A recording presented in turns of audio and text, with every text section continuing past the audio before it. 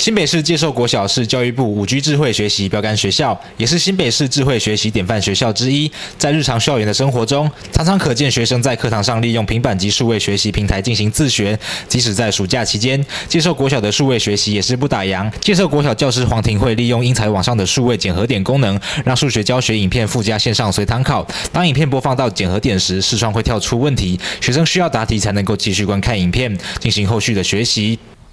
今天我们暑假的学生学习辅助的一个课程呢，呃，感谢我们老师哦，透过呃学校的数位平板的使用，然后结合我们的英才网，然后给予学生不同的一个任务，跟着学生适性发展哈，不同的任务，要让学生在网络上面，在平板上面来操作，那老师在后端呢，啊，也可以看得到学生整个操作的情形。然后给予不同的一个指导，然后立即发现，然后给予不同的任务，让学生来完成。那学生呢也学得非常的有兴趣。那我想，呃，透过数位平板的一个呃载具来指导学生的话呢，不只是老师呃很容易上手，那学生的学习状况呢也大大的一个提升。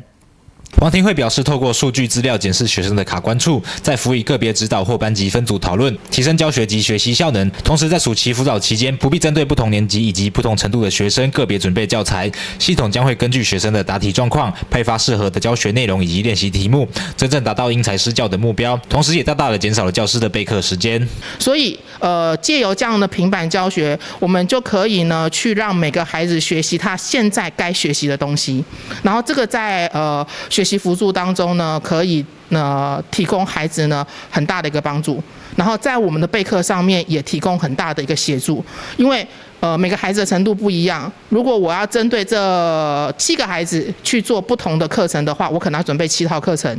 那我也不可能在呃。课堂上这样子讲七种不一样的东西，将会互相影响。那我们如果有这样的平板，那平板老师里头的每个课程，它都会针对孩子不同的东西，我发布不同的任务，那他们就可以自动学习。黄庭慧表示，教学网站同时也能够帮助家长及时了解到同学们的学习状况。相较传统的纸本教材，线上教学更能够利用相关的资料及数据，精准的掌握同学们学习上的难点，在学校及家庭的双管齐下，帮助同学们突破学习盲点。好，那如果你家里只要有手机，只要有平板，只要有笔电，只要有桌机，只要有这些载具，都是可以使用的，因为它就是在一个新北市的一个网站上面，对，所以呃可以对需要学习的学生有很大的协助，除非是说他真的就是呃有一点点不晓得该怎么样 push 自己，或是家长，那我们这时候就跟家长联系，然后家长就会知道说，哦，原来不是只有课本。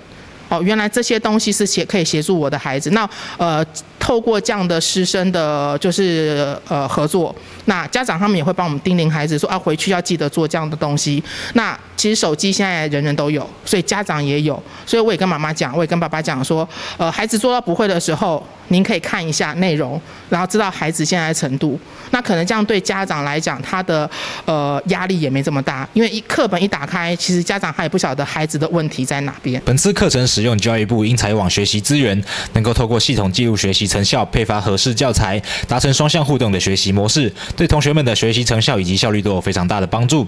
同时也减缓了教师以及家长的负担。记者李根基新北采访报道。